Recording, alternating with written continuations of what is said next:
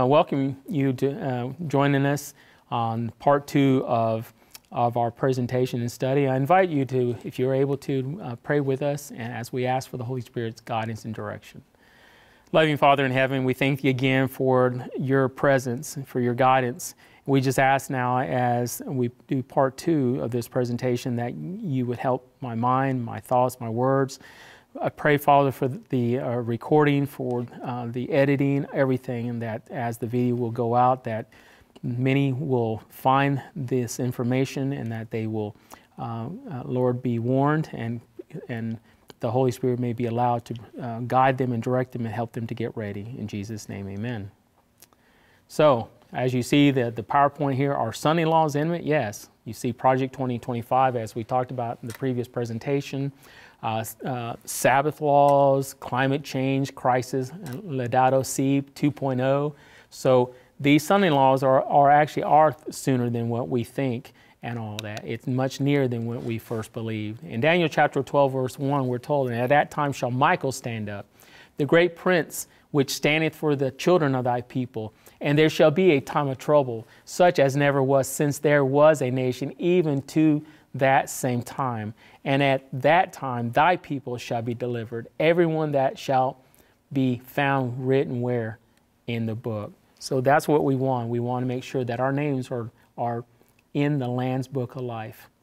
We're, we're facing a time of trouble that has never been, and we have to be mentally, physically, and spiritually prepared for this.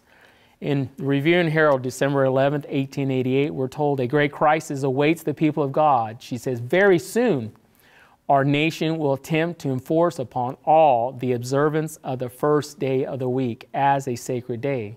In doing this, they will not scruple to compel men against the voice of their own conscience to observe the day the nation declares to be the Sabbath. See, through legislation, they will try to enforce it. That's not what God wants. God does not want us to be forced to worship Him. He wants us to choose to serve Him. It, she goes on, she says, In view of this, there must be among God's commandment keeping people more spirituality and a deeper consecration to God, and a zeal in His work that has never yet been reached, to hold aloft the banner of God's truth. The law of God, the only standard of righteousness, must be prized in proportion as the professed Christian world manifests contempt for it. So again, you know, we must love the truth. If we don't love the truth, if we're just coming, you know, we've been basically hypocrites and all that, it's not going to do us good. We must love the truth. We must be even willing to die for the truth as well.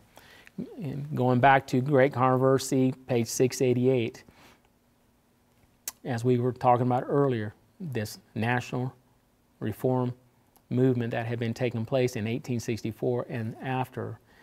The uh, writing here says another announced by the Reverend E.B. Graham is that if the opponents of the Bible do not like our government and its Christian features, let them go to some wild, desolate land and in the name of the devil and for the sake of the devil subdue it. So they said, if you don't like us pushing for uh, uh, uh national Christianity, then go find somewhere else. And it says, and set up a government of their own on infidel and atheistic ideas. And then, if they can't stand it, stay there till they die. Very, very uh, powerful statement, isn't it? Hmm. If you don't like what we're doing, go somewhere else and establish somewhere else. Another announced by Jonathan Edwards, DD, is that Jews, listen what he writes, that Jews and all Christians who keep the seventh day, does that include you and I? Yep are to be classified as, as atheists and must be treated as for this national reform question one party with atheists who cannot dwell together on the same continent with the national reform Christianity. So do you see that those that are of the Jewish faith and those who keep the seventh day must be classified and, and marginalized really as well as what um, this Jonathan Edwards was promoting. Look at another one. It says, a true theocracy is yet to come, and the enthronement of Christ, how? In law and lawmakers. Hence, I pray devoutly as a Christian patriot for the ballot in the hands of who? Women.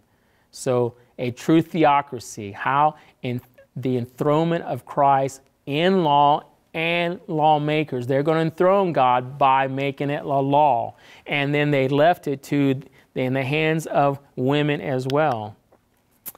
In her annual address to the National uh, Women's Council uh, Convention of 1887, Miss Willard said, The kingdom of Christ must enter, listen what she says, the kingdom of Christ must enter the realm of law through the gateway of how? Politics. So, what do you think is going to happen now? Through the gateway of politics. There are enough temperance men in both the Democratic and Republican parties to take possession of the government and give us national prohibition in the party of the near future, which is to be the party of who? The party of God. So they think that what they're doing is going to, that God's going to approve and is going to be part of their party. She says, We pray heaven to give them no rest until they shall swear an oath of allegiance to Christ and how? Swear allegiance to Christ in politics. This is why, if you're involved in politics and supporting politics and you're a Democrat or Republican, everything else, you're going to get swallowed up in this and march in one great army up to the polls to do what? Worship God. So they're doing it through legislative means and all. And this should be, again, a warning sign to you and, and to me. So look at this finally. We saw in the Sentinel that was uh, being, that started in 1863 64 and this was in response to the, the Blair Bill, Sunday law, that was being pushed, promoted in 1888. But God used a man by uh, A.T. Jones to be able to fight, fight it back by voice and pen and all, as we've been instructed we should do as well. In Testimonies Volume 8, we're told, and this is a question that I ask you to seriously consider. This is a question that Ellen White is asking us that we need to be serious about. Who can truly say our gold is tried in the fire? Our garments are what? Spotted, unspotted by the world. I saw our instructor pointing to the garments of so called righteousness, which is what many think is what really it is, is self righteousness. It's not Christ righteousness, it's self righteousness. And this instructor says, or here Ellen White says, stripping them off, he laid bare the defilement beneath then he said to me, Can you not see how they have pretentiously covered up their defilement and rottenness of character? She, he says, How is the faithful city become a what? A harlot. What is a harlot? What does she do? She sells herself to others. The instructor said, My father's house is made a house of merchandise, a place whence the divine presence and glory have what? De- departed. For this cause there is what? Weakness and strength is lacking. This is why we must take these seriously. You know, is our gold tried in the fire?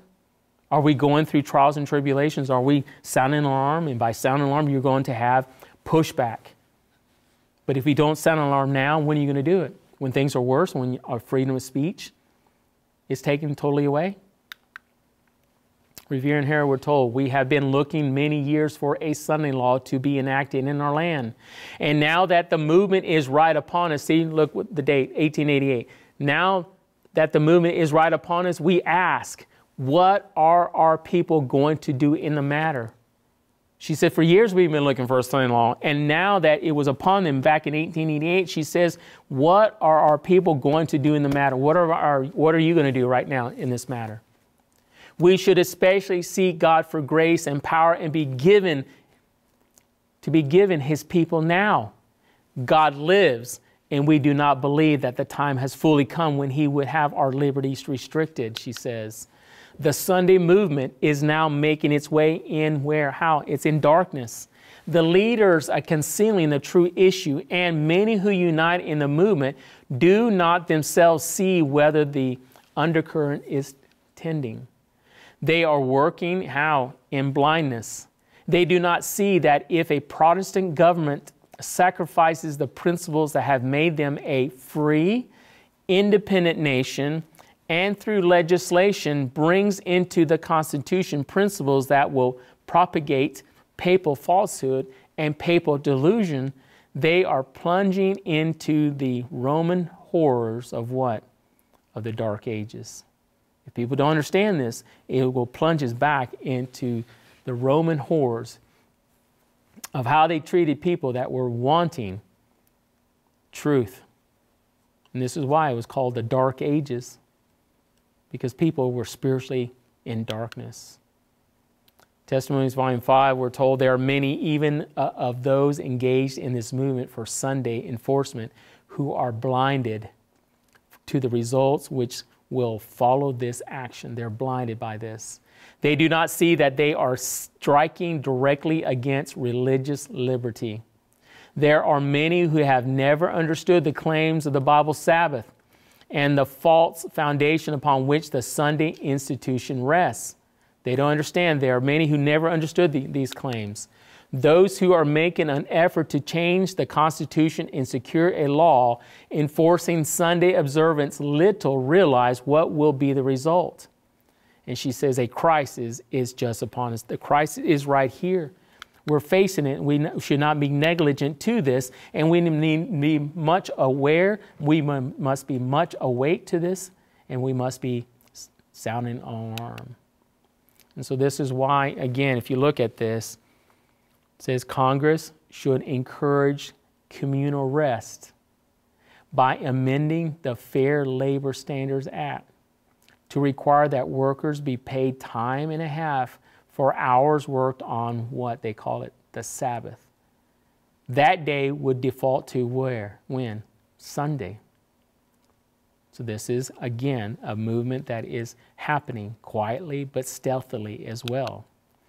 National, again, the national reform, as we looked at it earlier, to secure religious amendment of the United States Constitution, they want an amendment change to the establishment, establishment of a religious day of rest and all. And you can see this within this Christian patriots Christian nationalism. This is moving in a, in a great way. This is why the pendulum has gone from one extreme to the other. This is why I want to ask you something. I want you to consider this. In November, I think the 4th of, of 2024, we're looking at an election. Two primary uh, contenders. One, Joe Biden. If he is reelected, what do you think is going to happen in America? The conservatives and all that, they will probably potentially, don't know. Up, uh, uproar, there will be an uproar, there will be contesting and, and, and uh, destabilization of United States. Um, and much, I think, will happen, maybe violence and all that.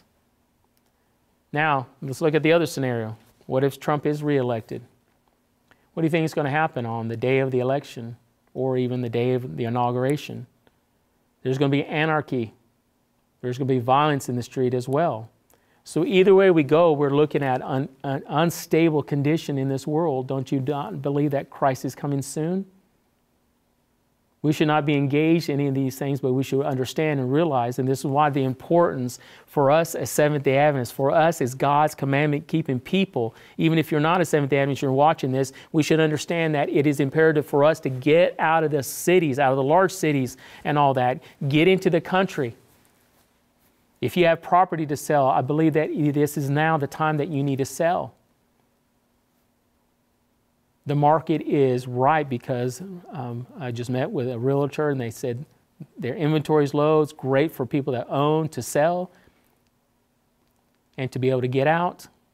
Downsize when you get into the country is not to, you know, if you're in a in, in downtown Chattanooga and, and you have a 5,000 square foot home that, oh, I'm going to get in the country there in the Smoky Mountains and I'm going to have a 5,000 square foot home and everything else. No, it is time for us to get out of debt. We need to downsize. We need to learn how to sacrifice. We don't need to be having expensive vehicles to drive that don't get hardly much gas mileage and everything else. We, we must simplify. We must, as, as the Lord directs us and as we should be asking God, God, what would you have me to do? Is we need to sacrifice by helping to expand the work before it's too late. But I'm seeing too many Adventists that they go from the cities and they go in and buying large homes, large places, and everything else. They're not sacrificing anything. They're not willing to grow gardens and be self sufficient because the crisis is, is going to be here. And we must be getting ready now. Testimonies, Volume 5, page 451, we're told by the degree in enforcing the institution of the papacy in violation of the law of God, our nation, listen, will disconnect herself fully from righteousness. When, when Protestantism shall stretch her hand across the gulf to grasp the hand of the, of the Roman power, when she shall reach over the abyss to clasp hands with spiritualism, when under the influence of this threefold union, our country, United States, shall repudiate every principle of its Constitution as a Protestant and Republican government, and shall make provision for the propagation of papal falsehoods and delusions, she says, then we may know that the time has come for the marvelous working of Satan and what? That the end is near. We are seeing that the end is coming Probation for God's people is soon to close. Things are going to get out of helter skelter. We don't have much time left to get our characters right. We don't have time, much time left to get this gospel of the kingdom without the impairment of our lives.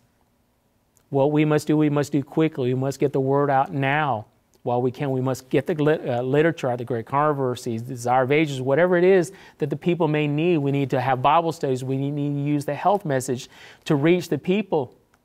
It is the entering wedge. But soon you're not going to be able to do that. And so we must take an opportunity now while there's turmoil, there's de- destabilization.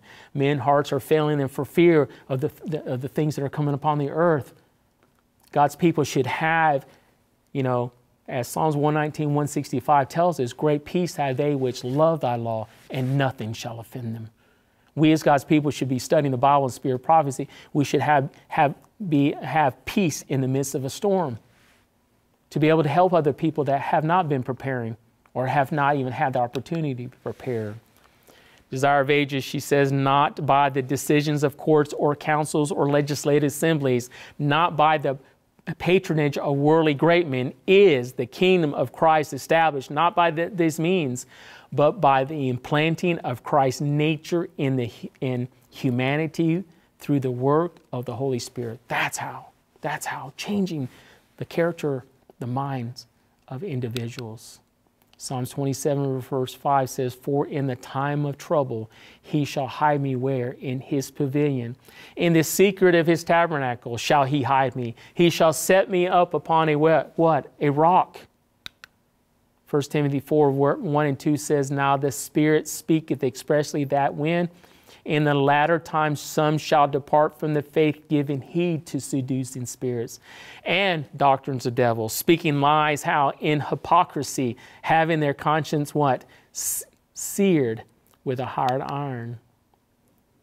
The message, volume 3, we're told the great issue so near at hand, enforcement of Sunday law, will weed out. Listen what's going to happen the great issue, the enforcement of Son will weed out those whom God has not appointed, and he will have a pure, true, sanctified ministry prepared for the latter rain. As problems uh, increase, there will be separation and unity in the same time. But as we're told, it will weed out those whom God has not appointed, and he will have a pure, true, sanctified ministry prepared for the latter rain. We must be preparing for that. We must be pure. We must be true. We must be sanctified by the Holy Spirit. Here's a warning to you ministers that are watching or should be watching. It says, Many will stand in our pulpits with the torch of what? False prophecy. This is why part one we talked about we need to, you know, adhere to the truth. Many will stand in our pulpits with the torch of false prophets, prophecy in their hands, kindled from the, the hellish torch of Satan. In our pulpits, not non Adventist pulpits, in our Seventh day Adventist pulpits. She says, Some will go out from among us who will bear the ark no longer. But these cannot make walls to obstruct the truth. for it will go onward and what? Upward to the end. Whatever you do against the truth or for the truth is nothing but for the truth and all. Manuscript release tells us ministers and doctors may depart from the faith as the word declares they will. And as the messages that God has given his servant declare they will. There will be ministers and doctors. You know, the gospel and the health. People, they're advocates, they will depart from the faith, giving heed to seducing spirits and doctrines of devils. This is why this is an interesting quote from Mark Twain. And I know some of you may know about some of his, his history, but it's just an interesting quote. It says, America cannot have an empire abroad and a republic at home. You know, many are saying, oh, we're democracy, democracy. No, we're supposed to have been, supposed to have been a republic country, republic state. This is why it, it is fascinating to listen to hear what is going on around the world. I'm going to quote you and share with you some things that, I, that, that the um, Dutch Prime Minister Geert Wilders just recently said addressing his parliament. And I'm only taking the clipping and, and, and the writing from this specific that he was talking about. He was talking about the importance of his um, country, the Netherlands, of what they need, they need to be doing because he saw that the, their, his country is fracturing. And so he points out there's five points that he, he brings out. He said, one, we must acknowledge that Islam is an influential ideology that fosters hatred and terror, and as a result is not compatible with the values of where the Netherlands. So he's, he's bringing out Islam. And so the reason I'm, I'm sharing this with you is, is as we're reading this, this type of talk will come becoming against God's commandment keeping people, Sabbath keepers soon. Because they will say that we foster hatred and terror, and it's not compatible to United States laws and teachings and stuff. Look at number two, he says. He says we should close our borders right away to asylum seekers and immigrants originating from where? Islamic countries. We should withdraw from the uh, uh, agreement and reintroduce our own border controls. So he's seeing that while they're making uh, agreements with other countries is not to their benefit and that they should close their borders and all that because they're being influenced from outsiders. Look at number three. He says we need to begin by dismantling Islamic institutions like mosques. So do you understand that there, there's a potential that you know, the United States may look at trying to shut down our Seventh-day Adventist institutions. The sad fact is, though, is that our church is going, moving more toward the government, more toward the other religions and stuff, and they probably won't be because they have duplicated. They, they're making an image of the other institutions and stuff. But in this case, this is just kind of an interesting uh, uh, a warning to us. He says, start by closing foreign funded mosques, including those that receive funding from abroad and are under the authority of the Diyanet, the Turkish Ministry of Religious Affairs, and not us. So he's saying they're, they're being funded and influenced by an outside country and control, and therefore we, we, have, we have no influence through that. So that's why they're trying to dismantle these mosques and all that. He said, number four, lock up anyone who threatens or uses violence or deport them from our country. And if necessary, take preventive action against those hundreds of supporters and thousands of sympathizers of the jihadist movement in the Netherlands. So he's, he's dealing a direct blow to them and says, you know, those who threaten and threaten that you, and, and they use violence, get them out of here. Look at number five. And he said, in five, Chairman requests all schools, newspapers, media to display a Muhammad cartoon in order not to provoke, but to demonstrate that we never give in to threats. Remember, there was some cartoons, some some newspapers that had, and the the uh, Islam um, faith got offended by that, and he said we should we should display it to let them know that we're not fearful of putting this in in our newspaper.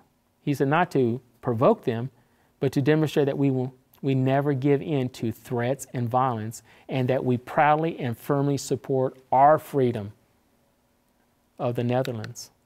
And then he said, finally, I have a message for all those Muslims in the Netherlands who do not respect, listen closely, who do not respect our freedom, our democracy, and our core value. He said, I have a message for you. look what he says. Those who consider the rules of the Quran more important than our secular laws. So can you can you change that? Those who consider the rules of the Bible more important than our constitution or laws. Look what he says. And there are many of them, 700,000 which is an interesting number because in, in uh, North America, there's over a little bit over 700,000 Seventh-day Adventists. So just in the Netherlands, there's 700,000 is revealed in the study by Professor Koopmans. So they know how many of the uh, Islams that they have in the Netherlands. And he says, and my message to them is get lost. Hmm.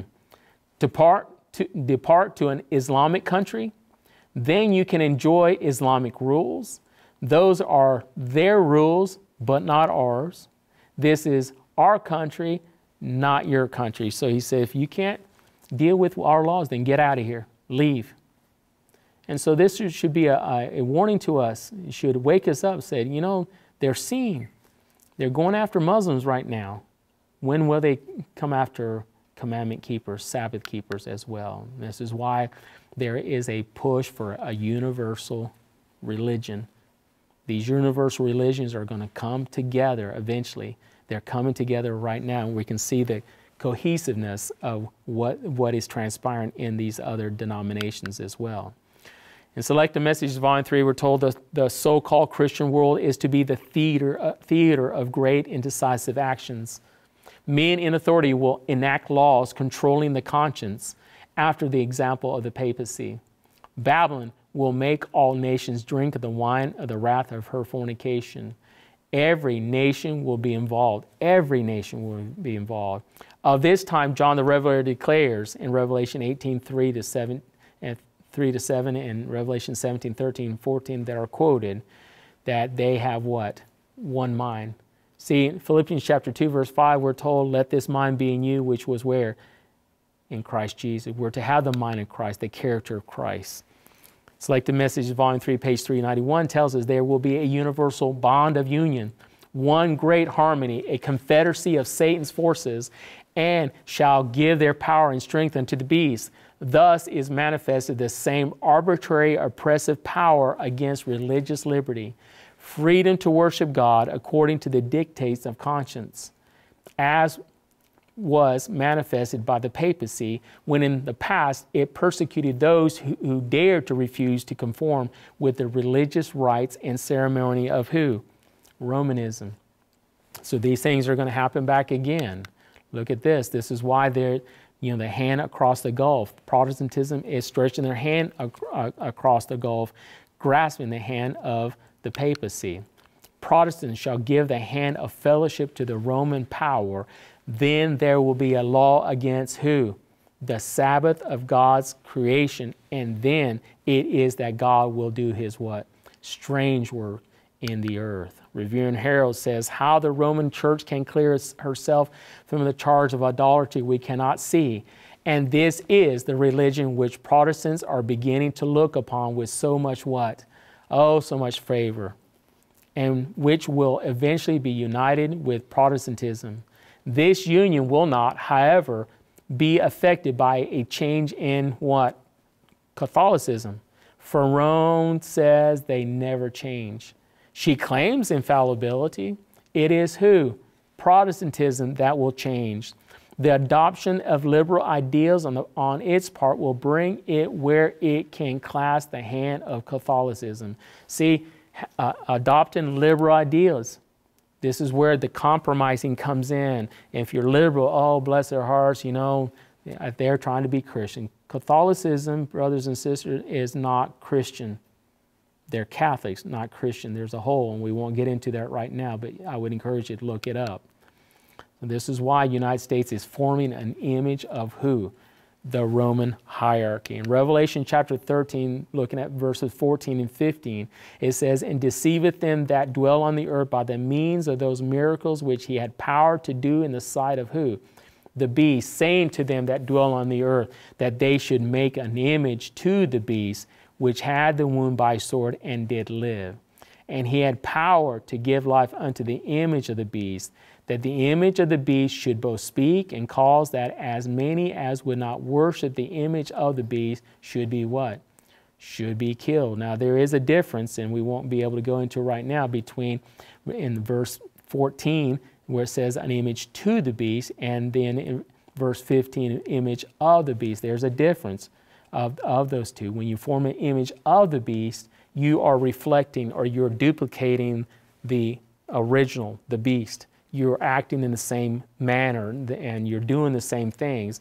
An image to the beast is actually Sunday legislation. So there's two, two things. In great controversy, we're told what is the image to the beast and how is it to be formed? The image is made by the two horned beast and is an image to the beast. It is also called an image of the beast. And it says the two horned beast, or Revelation 13, 11, 17, makes an image to the beast portrayed in Revelation 13, 1 through 10. Then, to learn what the image is like and how it is to be formed, we must study the characteristics of the beast itself, the papacy. When the early church became corrupted by departing from the simplicity of the gospel and accepting heathen rites and customs, she lost the spirit and power of God. And in order to control the consciences of the people, she sought the support of the secular power. The result was the papacy, a church that controlled the power of the state and employed it to further her own ends, especially for the punishment of heresy. In order for the United States to form an image of the beast, the religious power must so control the civil government that the authority of the state will also be employed by the church to accomplish her ends. See, the Catholic Church took control of the government during the Dark Ages. So as Protestantism is going to also form an image of the beast, United States, that the, that the church will control the government here in America. The image to the beast represents that form of apostate Protestantism which will be developed when the Protestant churches shall seek the aid of the civil power for the enforcement of their dogmas, dogmas and all. And so this is how this, this image to the beast is formed. Maranatha, we're told the image of the beast will be formed before probation closes, for it is to be the great test for the people of God by which their eternal destiny will be decided. This is the test that the people of God must have before they are sealed. This is the test. All who prove their loyalty to God by observing His law and refusing to accept a spurious Sabbath will rank under the banner of the Lord God Jehovah and will receive the seal of the living God. Those who yield the truth of heavenly origin and accept the Sunday Sabbath will receive what? The mark of the beast. And this is something we must avoid. We must not uh, accept, we must work against, especially in overcoming sin. This is why when this happens, there will be a national apostasy that will be followed by what?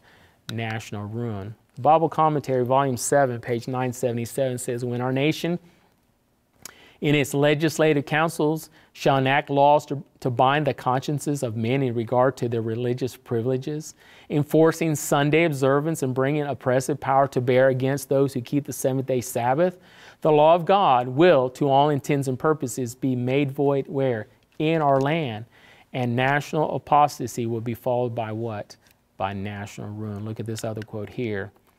Selected Messages, Volume 2 says, It is at the time of the national apostasy when, acting on the policy of Satan, the rulers of this land will rank themselves on the side of the man of sin.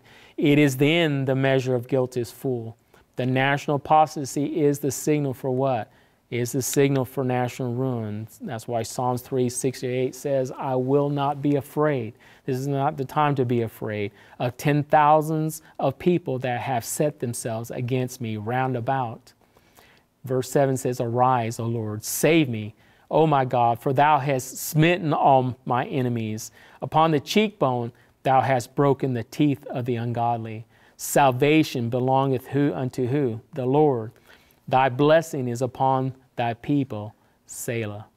And so this is why, again, it's important when our Protestant churches shall unite with the secular power to sustain a false religion, for opposing which their ancestors endure the fiercest persecution, when then will the papal Sabbath be enforced by the combined authority of church and state. This is why there's we talked about in, in part one that they're claiming, proclaiming that there is no separation of church and state. And so by uh, continuously promulgating that, eventually people will start believing it. The more you tell a lie, eventually people believe that it's the truth. There will be a national apostasy which will end, she says, only in national ruin. Bible commentary again says, when the state shall use its power to enforce the decrees and sustain the institution of the church, then will Protestant America have formed an image to the papacy, and there will be a national apostasy which will end only in national ruin. You can see this happening over and over and over, and this is why when you look at Daniel chapter 3, when the Shadrach, Meshach, and Abednego, when they were, you know, under this trial, we, we read, Then a herald cried aloud, To you it is commanded, there will be a herald by enacting a, through legislation of a national day of rest. Says, All people, nations, and languages. First, it will start with America, a national day of rest. Then it will be a global day of rest. It says that, that at that at what time ye hear the sound of the cornet flute, harp, sackbut, psalmistry, dulcimer, and all kinds of music, ye shall fall down and worship the golden image that Nebuchadnezzar the king has set up. And whoso falleth not down and worshipeth shall the same hour be cast into the midst of a burning fiery furnace. So there will be uh, enactments of punishment that if you do not obey what the government through legislation that the, the church, the Protestant church, has forced the state to do, then there will be punishment for those that are disobedient. Bible commentary says history will be repeated.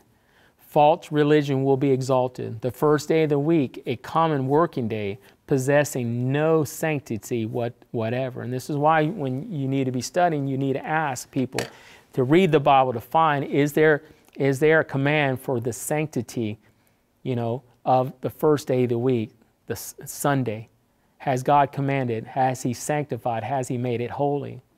She says, All nations and tongues and peoples will be commanded to worship this spurious Sabbath. The decree enforcing the worship of this day is to go forth to all the world. It first with, it starts with America, and then it goes to all the world. Isaiah 2 19 through 21 says, And they shall go into the holes of the rocks and into the caves of the earth for fear of the Lord and for the glory of his majesty, when he riseth to shake terribly the earth. In that day a man shall cast his idols of silver and his idols of gold, which they made each one for himself to worship, to the moles and to the bats. Those idols and everything won't do them any good to go into the clefts of the ragged rocks for fear of the Lord and for the glory of his majesty when he ariseth to shake what? Terribly the earth. He will rise to shake terribly the earth because he will, the people will know what they have been doing, what they've been trying to enforce is of no avail. This is why, again, another typology is in the case of, of Esther. It says, Then Mordecai commanded to, uh, to answer Esther, Think not within with thyself that thou shalt escape in the king's house more than all the Jews. For if thou altogether holdest thy peace at this time, this is why you cannot hold your peace. You must, with voice and pen, whatever influence you can, we must lift up our voices like a trumpet. Mordecai wrote, Then shall their, their enlargement and deliverance arise to the Jews. If you won't do it, God will have a people that will arise and they will do the work that God has commanded to be done. Will arise to the Jews from another place, but thou and thy father's house shall be destroyed. And who knoweth whether thou art come to the kingdom for such a time as this? God has called you for such a time as this. New converts that are coming are coming and joining God's true church at the most exciting time, but also the worst time as well. So it, it couldn't get better for them because God is calling us for, for a work that He wants us to do. We're not to sit in quietude. It says, It is our duty to do all in our power to avert the threat and danger A vast responsibility is devolving upon men and women of prayer. We must be praying earnestly throughout the land to petition that God may sweep back his cloud of I'm sorry, to sweep back this cloud of evil and give of grace to work for a few more years the master. We need to ask God, Lord, I know you have the four angels that holding back the winds to strive. Hold until your people are sealed. Hold as long as you're, you're able to, dear God, until I am sealed, until you're sealed, and all, until others that are sealed as well. But I'm afraid, though, we have been praying and, and asking for that, that soon those winds of strife, as we're seeing, those winds of strife are being let loose. Says, Those who are now keeping the commandments of God need to bestir themselves that they may obtain the special help which God alone can give them. They should work more earnestly to delay as long as possible the threatened calamity. We must work and do what we can because one soul is, is worth it all. One more soul and all that. I, my, you know, recently I've been thinking, can only imagine when the last call the last call of the people to give their, their lives to, to God, who will be that last person to accept His message of salvation? We must earnestly do it now that as many people may answer the call. Let not the commandment keeping people of God be silent at this time, as though we gracefully accepted the situation. We no. Well, we knew it's going to happen. We're just going to let it let it happen, and we need to accept it. No, we need to do what we can. She says, We are not doing the will of God if we sit in quietude, doing nothing to preserve the liberty of conscience. Fervent, effectual prayer should be ascending to heaven that this calamity may be deferred until, listen, that this calamity can be deferred until we can accomplish the work which has so long been neglected. She wrote, wrote this in 1889. She said, This work that has been so long neglected. How long have we neglected the work since she wrote this? Let there be most earnest prayer, and then let us work in harmony with our prayers. We shouldn't just keep praying, praying, praying, praying, praying, praying, and never do anything. We need to pray and work, pray and work, pray and work. And while we're working, we need to be praying as well. There are many who are at ease, who are as it were asleep. They say, if prophecy has foretold the enforcement of Sunday observance, the law will surely be enacted. And having come to this conclusion, they sit down in a calm expectation of the event, comforting themselves with the thought that God will protect his people in the day of trouble. But look at this. She says, But God will not save us if we make no effort to do the work He has committed to our charge. He's not going to save us when we neglect to obey His commandment. In Ezekiel 3 17 to 11, uh, 21 says, Son of man, I have made thee a watchman unto the house of Israel. Therefore, hear the word of my mouth and give them warning from me. When I say unto the wicked, Thou shalt surely die, and thou givest him not warning, nor speakest to warn the wicked from his wicked way to save his life, the same wicked man shall die where? In his iniquity. But his blood will I require at thy hand. Yet if thou warn the wicked, and he turn not from his wickedness, nor from his wicked way, he shall die in his iniquity, but thou hast delivered what? Thy soul.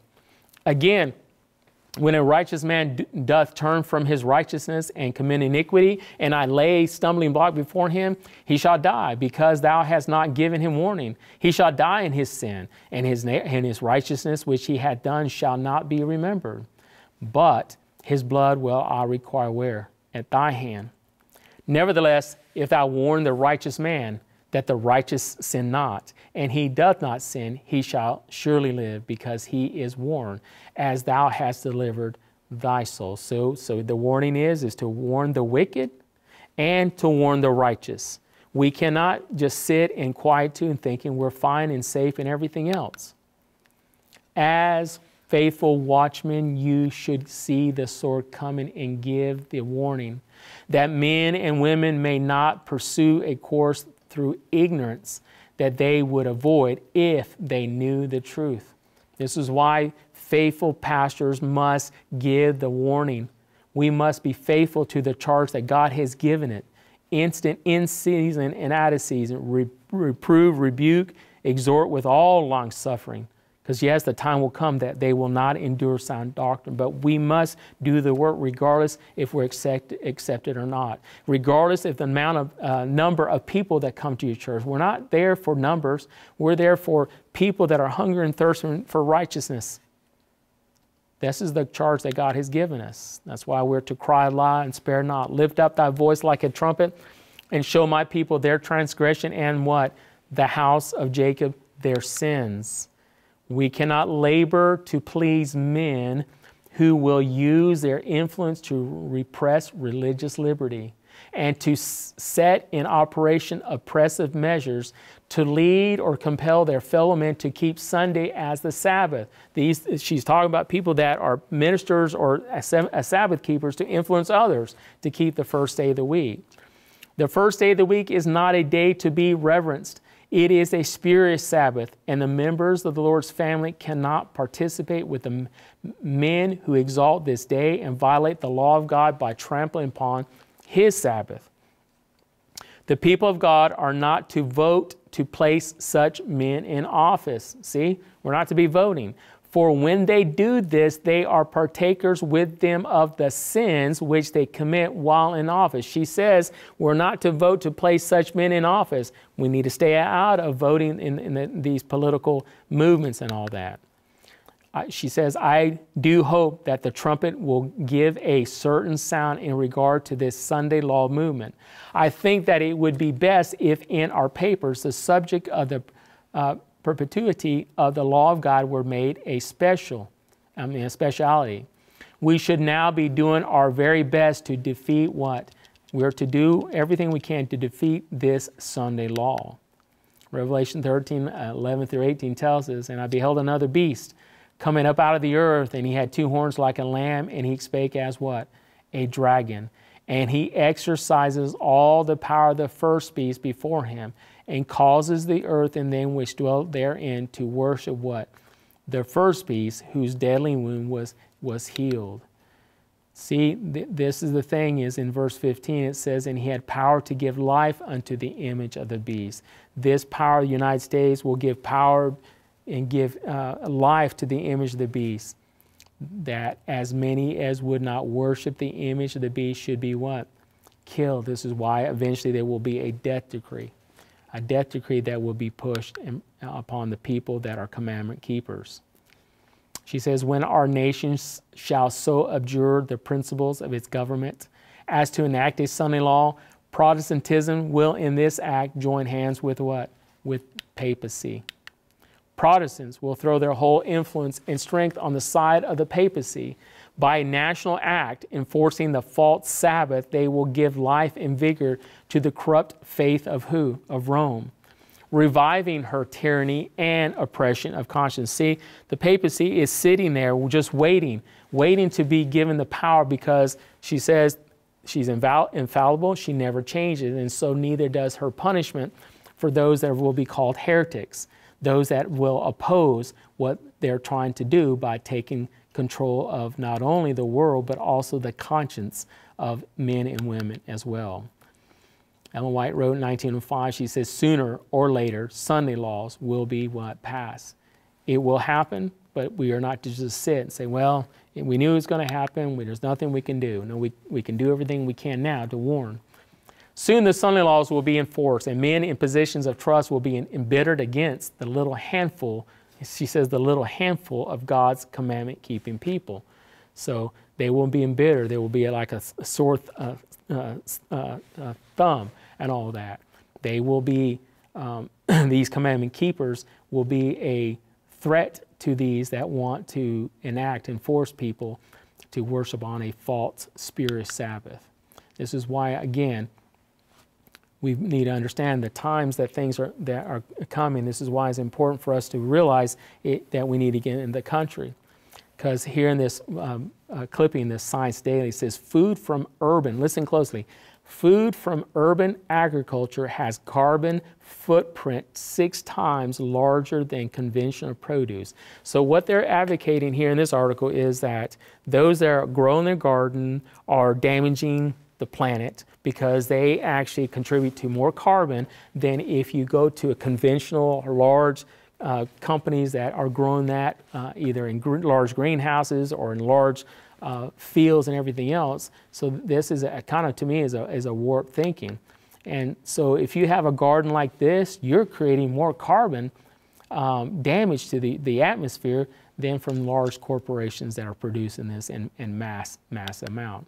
This is why here, if, when you see at the World Economic Forum that just recently happened in Davos, this, this woman and also this woman were advocating the importance of and kind of insinuating that you know we have laws for people that commit mass murders. And that's what this this lady actually says she says we have laws for people that commit mass murders but we have no laws for people that are growing their own gardens and they're actually damaging and hurting people that have gardens in, in their backyards and everything else and she's saying that we should have laws because that is hurting people that is killing people and so we should need to be punishing these individuals. Do you see, understand the warpness of these people and where they're get, getting to? And so we, we have this that, that is taking place, you know, in the, in the world. And then you have political corruptions that's taking place. You know, some may see this uh, clipping from Megyn Kelly of, of the corruptions, the bribery for uh, this lady that's uh, running for um, Senate uh, out of Arizona. Um, and and uh, how she recorded that, that, that uh, what had, had taken place. The other concern that I have here is, as uh, I'm just sharing with you, Musk puts uh, chip in human brain. Well, one of the concerns is uh, with this chip that, that, like this man that has maybe Alzheimer's or other health problems, that the, by putting the chip in the brain, it supposedly it, it enables them to be able to control uh, smartphones or control their the TV from their mind and all that. And so this it's a neural link to the chip to their different devices. Well, the big concern is what if people can hack into that? They hack, people hack into other things, so they could hack into a brain, somebody's brain, and make them do things that they probably may not be um, uh, uh, in, inclined to do to begin with. So the, these are things that we need to be understanding and be uh, concerned about that. That is, again, it's a, a form of creating man in our, Im- in our image instead of God creating man in his image. This is, again, another form to me of amalgamation, and, and it's very sad. So let's conclude with this. Spirit of prophecy, we're told. She, she says, But if there was one sin above another which called for the destruction of the race by the flood, it was the base crime of amalgamation of man and beast, which defaced the image of God and caused confusion everywhere. God proposed to destroy by a flood that powerful, long lived race that had corrupted their ways before him. He would not suffer them to live out the days of their natural life, which would be hundreds of years. It was only a few generations back when Adam had access to that tree, which was to prolong life. After his dis- disobedience, he was not suffered to eat of the tree of life and perpetuate a life of sin. In order for man to possess an endless life, he must continue to eat of the fruit of the tree of life. Deprived of that tree, his life would gradually wear out. And I believe God is going to end this earth before man gets back to the position of what happened before the flood. May God bless you as you're studying. May God be with you as you're preparing to reflect His character. As you, I encourage you to evangelize. I encourage you if you to pray. If you're not, if you're in the city, to get out in the country. God will provide you a place because there is a lifestyle uh, understanding. It, it, it takes uh, uh, uh learning how to live in the country, especially away from supplies and everything else. And so there is a learning curve, and I encourage you to go ahead and do that before you're not going to be able to. So, shall we close as we pray? Father in heaven, we thank you again for the, the uh, technology to be able to watch and see what's going on in other countries and what leaders and um, the push for these different enactments that the Holy Spirit may uh, help us to understand these things that are taking place. That as Satan is trying to unite his forces, the people of the world that are not wanting to obey you, that your people, those that want to reflect your character and go to heaven and to help one another, that we should unite and we should obey you in spirit and truth in the beauty of holiness. So guide and direct those that are watching. Bless everything, Lord, that and the part that we're working on, Lord, that we can do our part faithfully and consistently. In Jesus' name, amen.